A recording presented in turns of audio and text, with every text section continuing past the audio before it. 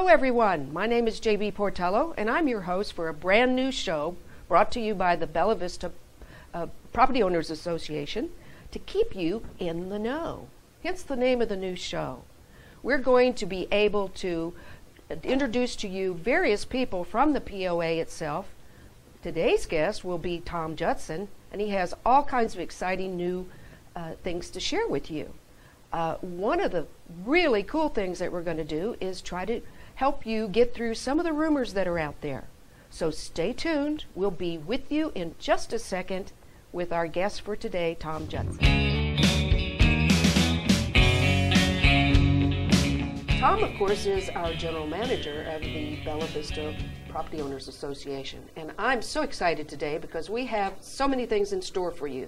For example, we're going to dispel your favorite rumor.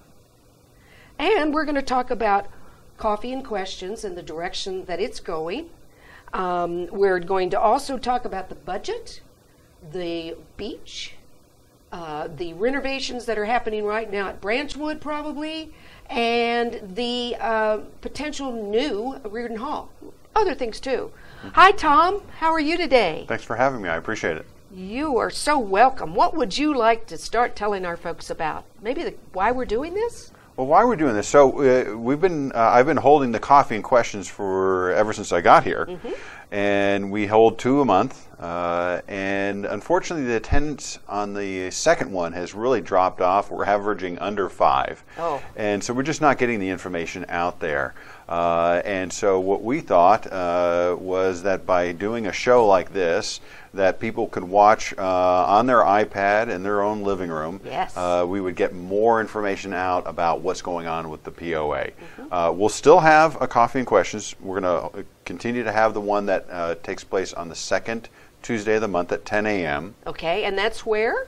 It's at Riordan Hall. At Riordan Hall. Okay. Just like always. Absolutely. Okay. Uh, and then this show will come out the first week of the month. Mm-hmm. And what that the, it benefits us in that it's just after the board meeting, mm-hmm. which uh, takes place in the previous month on the last week. Right.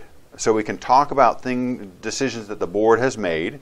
And then, uh, if someone has additional questions that they have that are that come up as a result of the show, they can come to the coffee and questions the very next week and ask me in person.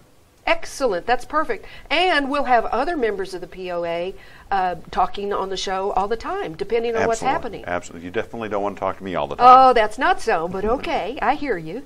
Uh, okay, so once a month, and we're going to do this on the second Tuesday of the month. No, that's that's the, the coffee, coffee and questions. questions. Okay, we're gonna we're gonna release this the first week of the month. That's right. That's right.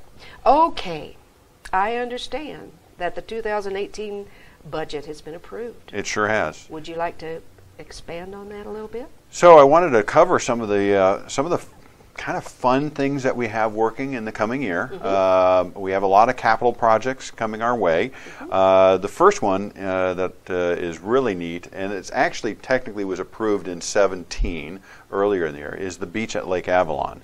Uh, and if you haven't been down to it, uh, it, they've really done a lot of work already. Uh, the beach area is already in. They they were adding sand yesterday. Uh, the uh, check-in hut is already uh, uh, constructed in there. the swim area we've already. we, when we lowered the lake, we cleared out any underwater debris. We wanted to make sure nobody would get injured at the beach and so sure, forth. Sure. the parking lot is already done. Uh, the uh, old light poles have already been removed, and the underground electrical has already been added. So we've we've got a lot of uh, progress done.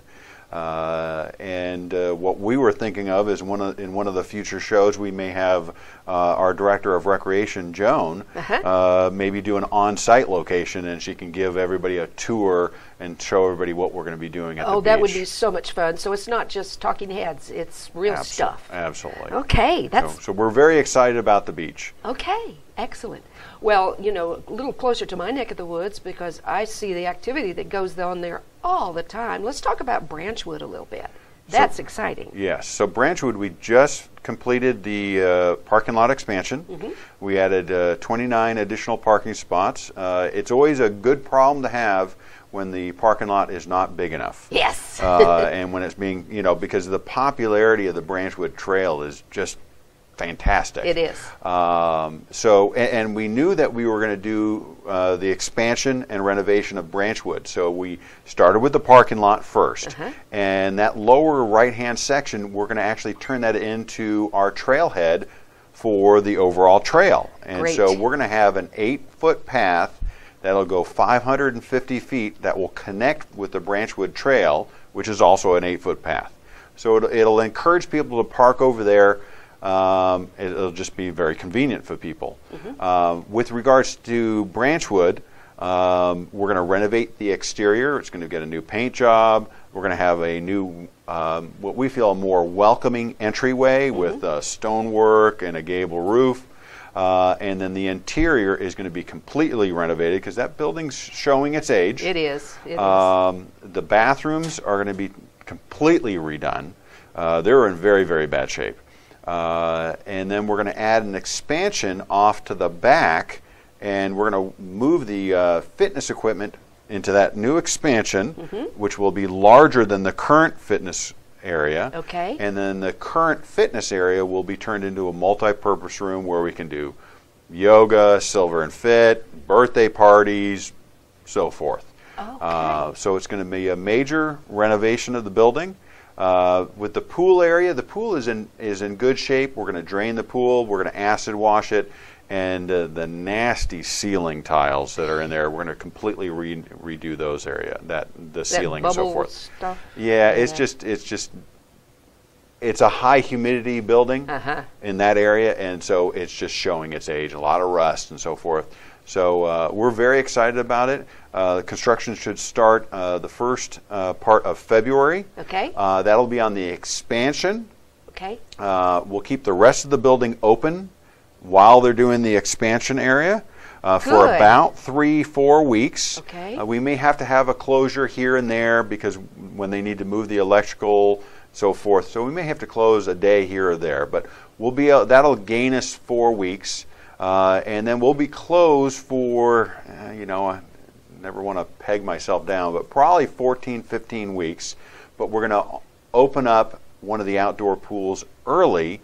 So we unfortunately are going to have to inconvenience some of our property owners, but we're trying to reduce that inconvenience as much as possible. Yeah, but it'll all be worth it. And anyway, the classes can still be held at Riordan or at Metfield. That A lot of the classes, but the water aer- The water part, classes, yeah. they they can't, and and and and we need to do our best to to. We know there's going to be an inconvenience, but if we can reduce the inconvenience, that's our goal. okay. Well, that sounds awesome. I'm excited about that personally. Right. Uh, bunkers. So the bunkers at uh, at Dogwood. Uh, Dogwood.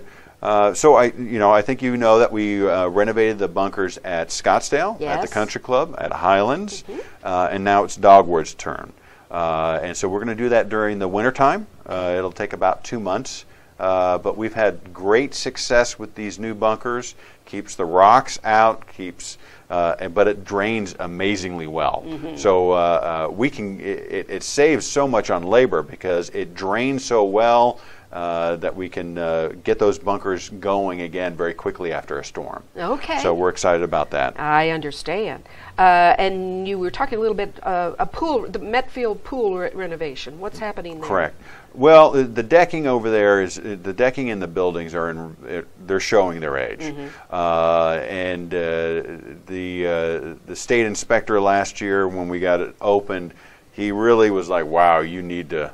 You need to put some money into this place, and so uh, it's showing its age. So we're going to be renovating the decking and, and some of the building, and and uh, you know, it's one. It's a, it's a very highly used pool, and we have a lot of kids on the east side, and that's on the east side. So we need to put some money back into that pool area. And that's w- the one that's going to open early. You said something about pools. no, the one early. that's going to open early will actually be at Riordan. At Riordan, uh, okay. and it will be the adult pool only, and we'll only open it up on certain for certain times, uh, just to accommodate those those fitness classes. I gotcha. Okay. All right. So uh, also the playground equipment. I was over there the other day. That's a pretty good looking playground. But you're going to do even more. Well, if you look closer, Uh-huh. the playground equipment's fairly old and it's starting to show its age. Okay. Um, so we're actually uh, what uh, Joan and her team are working on right now is a complete master plan of our playground equipment. Ooh. Because all our play- playground equipment, it's it was prob they probably need to be replaced a decade ago. Oh, okay. Uh, they need some they need some work. Uh, and so uh, they're going to actually develop a master plan. We're actually looking at uh, the possibility possibility of adding a playground uh, at uh, the beach because we Oh. know we're going to have a lot of kids at the beach. yes. Uh, so they could, you know, they could go from the water and then go on a slide and go on a jump, you know, all those things. It would be, it would work out very well. Absolutely, it would. That sounds great. And then you're talking about even the tennis courts. So the tennis courts, uh, you know, as with most tennis courts, they get large cracks. So we're going to do a complete renovation of four of those uh, with a new technology, and a new way of doing it that holds them together. I'm not an engineer, so I'm not going to go into describing it, but we feel that it's going to uh, it's going to hold up very well, and the cracks it'll prevent the cracks from happening, or if the cracks ha- cracks happen happen, they happen, you know, further down the road. Gotcha. Do you play tennis? I try to. Yeah. You do you really? Yeah, I do. I enjoy it. Uh, I have. I've never done that, but someday maybe I'll just go watch. yeah, Allison, my wife and I, Allison and I play every once in a while. Oh, okay. Well, good to know. Uh, okay, water meters. What about the water, meters? Water meters? meters. Okay, so uh, the POA runs the water utility. Right. And uh, the average lifespan for a water meter is about 10 years. Okay. And our water meters average in age between 8 and 13 years old. And right now, what's as they get older, they're they're they're failing. Mm-hmm. Okay. Now, when when a water meter fails, I got to clarify that. And I'm not a water meter expert, so you got to forgive me if I get anything wrong. But when a water meter fails, it, it's still we can still record how much water you are using. Mm-hmm. Okay. It's almost like an odometer on a car. You can still get that. But what we can't do is we can't get the data out of it, and it makes it much harder when we're ta- when we send our meter readers out. So um, they're starting to fail. We're we're, ha- we're averaging right now 361 failures per month, Oh, and that's a lot. yes. And and in some cases they're they're failing in batches. You know, maybe uh, decades ago, uh, an entire neighborhood was built at the same time. Yeah. Well, they're failing. The, we're having the entire neighborhood fail all at one time because they were all put in at one time. So Sure. it makes sense. I mean, it, it's almost it's not exactly. It's almost like when you when one smoke alarm in your home, the battery goes dead. Uh-huh. All the other ones go dead at the same time. At 2:30 in the morning. Uh, Absolutely, that's how it always happens.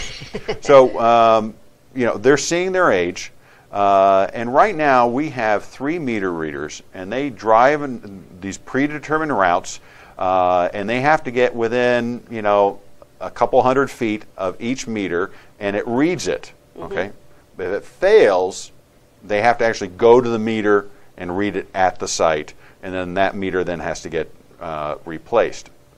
Um, so with this new technology, it'll be cellular based.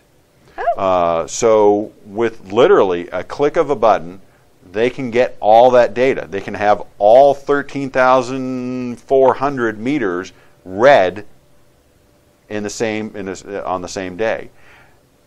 The way this is going to help our property owners is right now.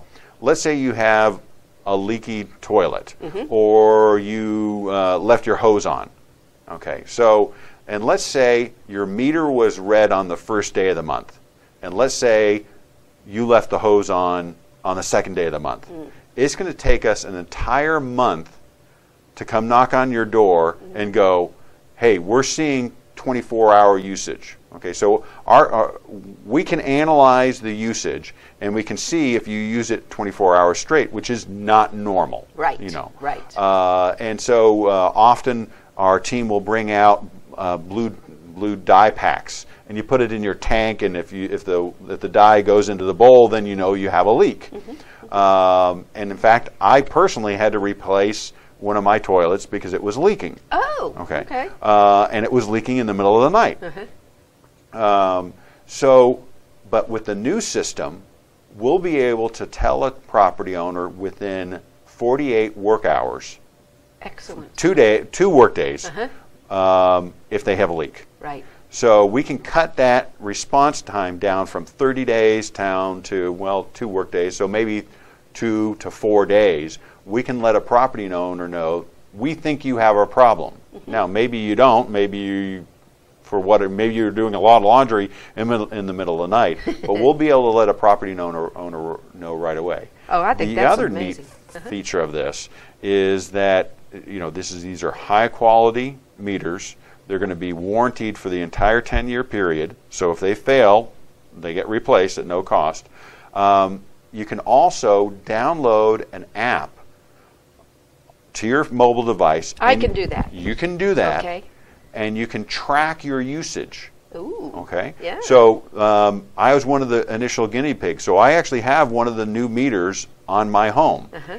And the day that my daughters got home from college, we, you know, a lot of laundry. Right. You know, I, they must be taking Hollywood showers. I don't know what they're doing. Yeah. But our water usage went way up on the exact day, and you can actually look on on uh, the app and you can see how the usage goes up. And you can even go in and you can set your own alarms. So let's say, okay, well, you know, just in case the, the water utility doesn't pick up the 24 hour usage, I'm going to set that up on my own phone. So you can control your own usage and you can see how you're using the water and whether you can conserve and save some money. So when is that going to happen? Uh, we anticipate it'll start in early, uh, early 18. Uh-huh. But uh, since we're talking about 13,400 meters, it's a six-month install. I gotcha. Okay. So, so it'll take a while. But it, this is a large project. We're talking 3.6 million dollar project. Uh-huh. Uh, but I really got to compliment the crew because they interviewed five different companies that offer water meters. Mm-hmm. They did their homework. Uh, they they uh, investigated Russellville, which is a, a, a s- city, a town that is of a similar size water utilities as, as us. They investigated, they went and saw the same type of meter that we are going to have installed. So they did their homework. They did their due diligence to make sure. Uh, plus, this this was the low of all the five bids. This was the lowest bid. So we're, we're very pleased with the quality, uh, the, the uh, reference checks, and they were the low bidder. Uh, and so we're very pleased, but it is a major under. I mean, 3.6 million dollars, a lot of money, but we need to do it. They're dying, so we might as well go through and uh, get it get it done now. Uh, in fact, what we're doing is ever since the board approved this capital project um, in the in starting in January, any meter failure that occurs, we will go with a new meter. So we're, we're not going to put in an old meter and then six months later put in a new one. We're going to just go with the the the uh, the new ones, the Badger meters. Gotcha. That sounds very exciting. You know Very what? Let's do something fun for just a second. Sure, Want to? absolutely. I know that you, I, I know I hear about a lot of rumors on Facebook and Mm-hmm. even talking to people and doing things and all that. And I was just curious, what's your favorite rumor going around right now? Um, so my favorite one is that uh, our new chef has left. I saw him last night, didn't I? Absolutely. That's what I thought. Absolutely. So um, I heard the rumor. Uh, so I gave Scott a call. And I said, you know, I, I have a feeling it's a Bella Vista rumor, but I just want to make sure. And he goes, I'm happy. He goes happy. So he, he's it's it, it's it's fortunately Yes. it is a uh, false rumor. Gotcha. Uh, you always got to be careful what you read on uh, on Facebook.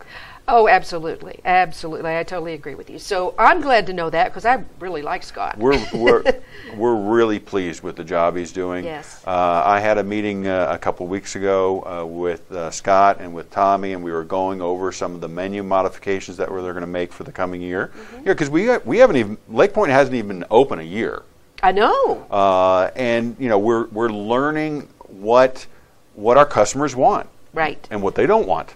Right. Uh, and so we're, we went through, we're, we're going through that data and saying, okay, well, they want this, but they don't want this. And we're modifying, we're getting ready to modify our menu and roll it out in the coming year uh, based upon what our customer is telling us that they want. I'm so glad you're doing that because I love Lake Point, but every now and then it would be nice to have a surprise when you walk in Absolutely, there. The absolutely. You've, we've got two things coming up, I know for Mm-hmm. sure, at Lake Point, and the first one's already sold out, and that's the Christmas Eve The brunch. Brunch. Yes. Wow, I was a little So late. uh, coincidentally, Allison and I were uh, having dinner the night that the connections came out, uh, which is the mailer that is included in the water bill. Yes. Uh, and that day they booked a hundred reservations. So we were having dinner, and Kelly came by. She was very excited Yes. because we sold out. Uh, the downside is we sold out, and we have a lot of property owners that wanted to come and uh, come to Lake Point uh, for their Christmas Eve brunch. So we looked at a couple different options. We looked at maybe having the brunch on the Saturday beforehand, but it just, you know, with dinner that night, it, it- we just didn't feel that that was going to work. So what we've done is we've added a New Year's Eve brunch and I think we're already at 100 reservations on that. So if you haven't made your reservation, please do, Do so it as soon, now. As, as soon Yes, as possible. yes. You know, we can only accommodate so many people. yes. So. Well, you know what? We have a little bit of time left, and I think a really important thing for us to talk about is the, the big gorilla in the room, the hydrology study, and I know you have news. Yeah, so uh, we're getting close to the study is being is almost done. Uh, originally, it was supposed to be done at the end of December, uh, but there were some delays. Remember, you know, and I'm not blaming anybody, but we're working with the city, and they have sp- particular needs. Sure. And by working with the city, we were able to save money on the overall study. But uh, but uh, the number of uh, cross sections increased, and so that delayed the um, the when the results are going to be out. So You want it done right. and You we want it done yes, right. We don't yes. want to erase it. Right. Uh, and so what we're, what we're doing is we've set two dates: March 13th at 10 a.m. at Riordan Hall, Mm-hmm. March 15th at 4 p.m. at Riordan Hall. That's when we're going to release it to the community and seek community input based upon the findings of the study. Excellent. So it's a little bit, uh, you know, uh, we're asking our property owners to be a little bit more patient. Uh, but what I don't want to do is I don't want to set the time for the meeting and then for whatever reason we have to delay again. I'd rather just let's have it in March. Right. Uh, so uh, those are the two dates, and we're going to be getting those out via email uh, or, or e-newsletter, uh, so that our property owners will be able to attend. We anticipate, I anticipate, uh, a lot of people will be in attendance. Well, and we'll be sure to have it on our In the Know show Absolutely. all the time. Absolutely. I, I'm, that's awesome. Okay, so I think probably for today we've, my goodness, they know a lot more than they did 30 minutes ago. I agree. And I am so excited that we're doing this because I think this is a great way to get the information out to the community. And I'm very proud to be part of the show. Well, I'm very pleased that you uh, volunteered. So, for next month, I suppose that we can look forward to maybe talking about the new country club. What do you think? Absolutely. Okay. Absolutely. Okay. So for now, uh, for this month's folks, uh, you're in the know. So stay tuned next time for additional information, and we'll see you then.